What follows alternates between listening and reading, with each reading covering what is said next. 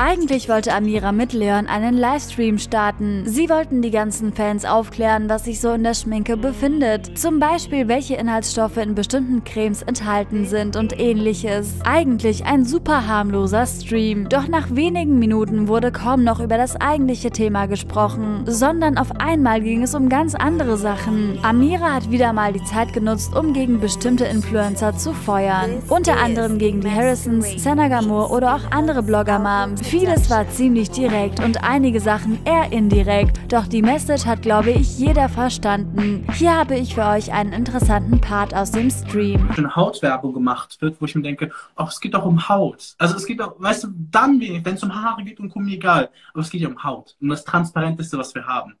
Und da bin ich dann so, meh. Ja. Es ist so dieses, ich habe halt auch, ich, ich würde so gerne jetzt einfach erzählen, Lass aber es. dann mache ich mir wieder Feinde, weißt du ich, ich erwähne Sonst immer noch bist du nur eine Rassistin und eine Sexistin. Nein, es geht, ja, es geht ja halt um das Thema, so wie du auch schon gesagt hast, diese Transparenz. Natürlich möchte man irgendwo nicht alles teilen. Wir teilen ja auch nicht alles. Ich sage nee. ja auch jetzt nicht, boah, heute ist aber richtig scheiße, heute, heute keine Ahnung, äh, egal, keine Ahnung. Mhm. Ja, klar. Fall, ähm, darum geht es gar nicht. Aber wenn man dann doch mal ein, ein, ein etwas anspricht, dann kann man sich da auch irgendwann mal stellen oder vielleicht mal ein bisschen an der Realität äh, festhalten. Und gerade wenn man so einen Einfluss hat auf junge Leute, dann soll man doch einfach ein Vorbild sein. Und was jetzt gerade alles passiert, zum Beispiel diese eine Familie, die hat auch Fanpages. Und ähm, das äh, Thema Kinderprofil, das Profil wurde gelöscht und weißt du was, diese Fanpages, jetzt wirklich diese Fanpages, hat Olli Nachrichten gekriegt, ey, wegen dir musste dieser Kinderaccount gelöscht werden, das arme Kind. Und dann denkst du dir, Alter, was geht denn hier ab? Die, die haben gerade wirklich Mitleid mit einer Dreijährigen, keine Ahnung, wie alt die ist, äh, dass die jetzt keinen Instagram-Account mehr hat. In was für einer mhm. Welt leben die? So, und woher haben die das? Natürlich von ihren Idolen. Äh, das ist halt einfach dieses verschobene Bild, wo ich mir denke, geh du erstmal in die Schule. Geh du erstmal in die Schule, ja. werd du erstmal volljährig und dann kannst ja. du mit uns weiterreden. Weil die, das sind die kleine Kinder, die dann dahinter stecken, das haben wir ja auch noch rausgefunden. Und dass die wirklich dann, ähm, genau, also du hast halt einfach eine Vorbildfunktion. Das ist das, was ich sagen möchte. Genau, das finde ich auch. Und das finde ich auch, also ich finde es auch ganz wichtig, dass man sich mal bewusst macht, ähm, gerade wenn es auch so simple Sachen sind, wie zu sagen, also ich ich verlange es nämlich, ich freue mich, wenn gerade Influencer mit, vor allem jeder Influencer einfach sagt so, hey, bleibt zu Hause, hey, postet keine Bilder von euren Kindern. Oder irgendwie so simple Sachen, die ganz schnell sind. Also es geht halt schnell, das ist nichts krass, kostet dich nicht viel. Aufwand, das finde ich ganz gut. Einfach um den Leuten auch was mitzugeben, weil es ist oft so alltägliche Dinge, die wir vergessen. Ja, und jetzt gerade, das ist so etwas, was mir immer wieder auffällt.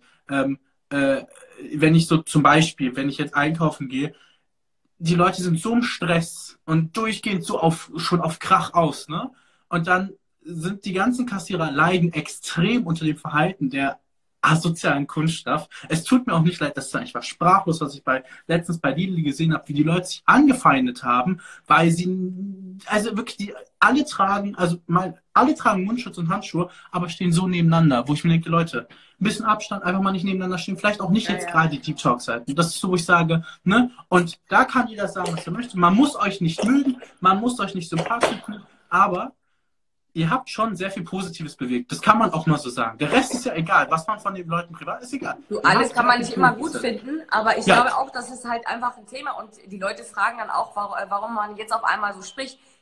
Habe ich mich selber jetzt auch mal reflektiert und beobachtet, was da passiert ist in den letzten Tagen. Ja. Ich selber wurde desillusioniert. Ich selber. Ja. Weißt du, ich habe zwar immer auch gesagt, nee, finde ich auch nicht okay, äh, Kinder im Netz bleiben privat, ist, bin ich total dabei, aber jetzt, nach so vielen Fakten und so vielen Bildern, die dann jetzt nochmal dazugekommen sind, ey, jetzt Das, was du geteilt hast, war wirklich schlimm. Also ich und muss ganz offen Ich sage dir, das, was ich geteilt habe, war nicht mal das, was ich alles gesehen habe. Ich habe sehr habe, viel geschickt bekommen. Ich habe Videos und Bilder mhm. gesehen. Äh, ich schlafe seit drei Nächten, schlafe ich nicht mehr. Ich bin bis drei Uhr nachts wach. Ich kann nicht schlafen. Und wenn ich dann einschlafe, habe ich Albträume. So. Mhm. Und ich wünschte wirklich, dass manche Leute, und ich habe, wir haben schon viele damit erreicht, aber ich wünschte, dass gewisse Leute, die es immer noch nicht geschnallt haben, ähm, Jan Leik hat heute, ein Video gemacht über die eine Person, die auch nochmal wirklich, äh, wirklich, äh, die ist wirklich der Hammer. Die behauptet ja tatsächlich, dass sie keine, sie hat auch ein Profil für ihr Kind, für ihre Kinder. Äh, und die behauptet ja, sie verdient kein Geld über die Kinder. Ja, ja. warte mal, dann hat er innerhalb von zwei Minuten drei Posts rausgesucht mit Werbeverträgen. Dann hat sie, sie angefangen zu rechtfertigen. Sagt sie, nee, aber hier haben wir nur die Torte für 50 Prozent günstiger bekommen. Wo ich mir denke, wow, es ist fast noch schlimmer, dass du deine Mhm. Kind verkaufst du für 50 Prozent auf die Ja. fucking Geburtstagstorte. Sag mal, mal, geht's noch? Geht's noch? Ist, ist, so- das ist so, als würde ich mein, mein Sohn, würde ich auf die Straße laufen, äh, würde ich den nackt so hinhalten, am Kölner Dom stehen und sagen, Leute, schmeißt ein Euro bitte hier in den Korb und ihr könnt mein Kind angucken. Wie, wie Ja. bescheuert ist das? Wie bescheuert? Und das Ja. Ding ist, äh, man, man muss nicht aus allem Profit ziehen. Ne? Also du weißt genauso gut wie ich, wenn du jetzt dein Kind im Internet präsentieren wirst, das wird die Likes, das Engagement und die Liebe bringen. Ist halt so, Kinder bringen sehr, sehr viel Liebe im Internet. Kann Das ich drauf gut. verzichten. Da habe ich lieber weniger Likes, äh, anstatt mein armes Baby, das noch keine Medienkompetenz hat, Ja. Irgendwie dafür zu missbrauchen. Und missbrauchen Ja, vor allem muss man halt auch einfach anmerken, ich habe eine wahnsinnig schöne, wir nennen sie jetzt Familie Fuchs, ne? Äh, wir nennen sie aber Familie Fuchs. Familie Fuchs sitzt im Internet und hat für ihr ungeborenes Kind schon eine Instagram-Page, was ich jetzt habe, eingerichtet. Aber Kommentare direkt deaktiviert, weil Familie Fuchs genau wusste, uff. So, und Familie Fuchs hat äh, sonst nie Engagement. Ich habe mal das Engagement angeschaut. Kinderbilder, Engagement hoch, Engagement hoch, Engagement hoch, kein Kinderbild, nichts mehr. Engagement tot. Es ist einfach tot im Feld. Wo ich dachte, oh, liebe Grüße auch hier von mir an Familie Fuchs oder Familie Schlange. Mir auch egal, wie du dich nennst. Ähm, das ist nur so ein Tipp, weil da dachte ich mir echt so, uff. Also es ist, viele sagen mal, es ist viele, gemein. leben, viele wären ohne Kinder ja gar nicht erfolgreich bei Instagram. So. Das hast du gesagt, ich nicht. Ist so. Hm. Mhm. Nein, Nein, nein, genau. das ist nicht so, Amira, das ist nicht so. Genau, das ist nicht so, das ist alles nur Satire und ähm, äh, wie nennt man das noch alles? Keine Ahnung, sucht dir was aus. Lügenpresse. Lügenpresse, Hate, äh, Mobbing, ist auch Mobbing. Und äh, ich fand aber trotzdem, das muss ich auch noch, wir sind zwar ganz vom Thema ab, mein Akku ist auch gleich leer, aber das sprechen wir noch kurz an, das muss ich auch erzählen. Okay. ähm, das wurde mir auch immer, weil ich habe Marco Schrei geguckt, am liebsten hätte ich da angerufen und gesagt, "La, schaltet mich durch, sofort. Ähm, da ging es ja darum, eben, äh, dass die, dass die Leute ja gar nicht verstehen, was sie, wohin dieses Bild denn rutscht. Also das ist ja, Internet ist ja, das vergisst nicht, ne? Und du hast sofort die Macht und die Kontrolle über dieses Bild verloren. Und dann habe ich mir gedacht, das hat irgendwie der Psychologe in der Sendung irgendwie mal äh, so, so anders formuliert, aber ich habe dann gesagt, stell dir mal vor, du nimmst jetzt ein Foto, du machst ein Foto von deinem Kind. Ja. In, in Badehose. Oder muss auch nicht mal, es muss ja nicht mal halbnackt sein. Es kann ja auch hübsch angezogen in so einem Püppchenkleid sein. So, Ja. nimmst das Foto, druckst es zwei, drei, vier, fünf, sechs, siebenhundert Mal aus, läu- läufst durch die Stadt in Form von Flyers und wirfst es auf die Straße. Würdest du das machen? Nein, natürlich nicht. So, ist dasselbe, was man mit dem Internet macht, nur millionenfach. So, Ja. und genau das checken die Leute nicht. Und ähm, auch dieses, äh, diese, diese Familie, die ich äh, letztes schon angesprochen habe, Familie, die ich letztes schon angesprochen habe, die hat ja diesen Kinder-Account gelöscht. Ja, Aber, aber dooferweise gibt es mindestens 15 Fanpages von diesem Kind. ja, das ist echt schwer. Das, das, ich meine, ich möchte auch, also das möchte ich immer wieder sagen. Aber das ist ja der Punkt. Jetzt sehen die, scheiße, wir wollen das vielleicht jetzt nicht. Vielleicht haben die ja wirklich nachgedacht, wir wollen diesen Account nicht mehr führen. Sie hat recht. Aber die haben schon mal mindestens 2000 Fotos im Netz von ihrer Tochter, weil es 15 Fanpages gibt. Und die Kontrolle haben sie nicht mehr. Und der Zug Ja. ist abgefahren. Genau, das, ne, deswegen hier nur liebe Grüße an alle, die das immer noch praktizieren und sagen, das ist super. Ähm, für die sich auch aufregen, bleibt bei Beauty. Wir haben Beauty eigentlich schon alles abgehandelt. Es tut mir leid. Ähm, einfach nur, einfach nur so für euch. Macht damit immer, was ihr wollt. Also es ist nicht, vor allem ganz wichtig, macht damit nichts Böses. Ähm, viel, ich lese schon wieder, ja, das ist negativ, das ist zu negativ. Genau das meine ich. Das Insta. Instagram ist alles positiv. Die Welt ist wunderschön. Hier gibt es nichts.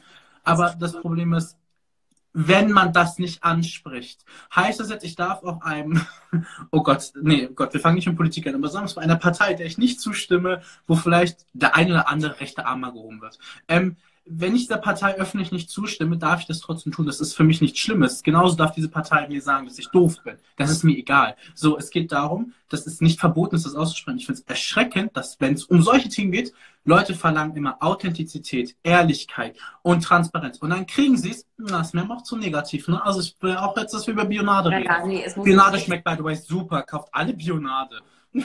Und natürlich aber auch Fritz Cola und alle anderen, die es gibt. Alle. Ja, eben. Alle. Nur nichts Negatives reinlassen in die heile Welt. Aber Genau, hier ist alles schön Spread Love, not War oder so. genau, und wir kacken alle Konfetti. Spaß, ich kack eigentlich, ich kack eigentlich nur Vitamin C-Serien, alles gut. Ich bin da nicht so.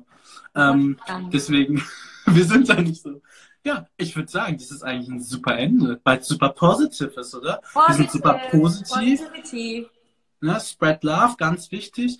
Äh, wichtig, Leute, ähm, ich würde sagen, du wirst, Amira, ganz cool, wäre richtig geil, wenn du deine Produkte, die du verwendest, auch mal in die Story einfach postest, was Make-up, Haare, auf ein, auf einem Foto. Das kriegst du wohl hin. Von mir aus machst du zwei, drei Story-Sequenzen, geht schnell, ja? Okay. Ähm, und, und ich mache dazu auch nochmal so ein bisschen was, was ich, wobei das Wie findet ihr das, was Amira gesagt hat? Übertreibt sie langsam? Ich bin gespannt auf eure Meinung und freue mich, wenn ihr Check the Celeb abonniert, um immer up to date zu bleiben. Danke fürs Zusehen und bis zum nächsten Mal.